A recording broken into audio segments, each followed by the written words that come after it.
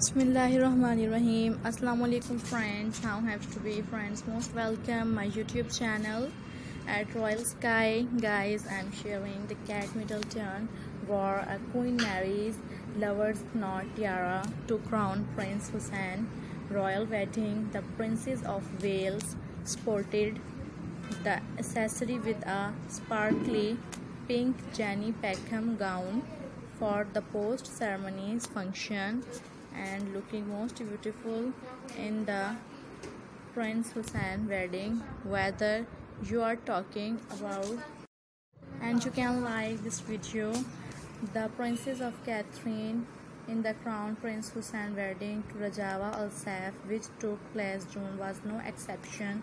One particularly eye-catching attendance, the Kate Middleton, who showed up the newly Great Weds post-ceremony banquet in style and the Princess of Wales sported a sparkly pink Jenny Packham with the Mary's loving knot tiara.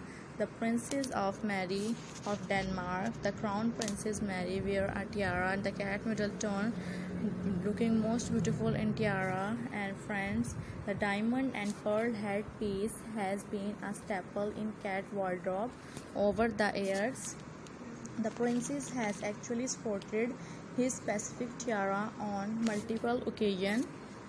According to US magazine, Cat was first spotted in the lover's knot tiara in 2015 at the diplomatic reception at Buckingham Palace at 2018 and 2019.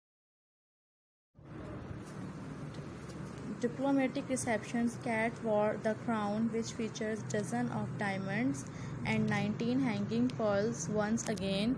Most recently Kate Middleton was seen wearing the beautiful bejeweled accessory in November 2022 for the first date in the banquet the King Charles three in the region and that's very great idea. The crown princess mary looking most beautiful in this wedding and have a very beautiful unique attractive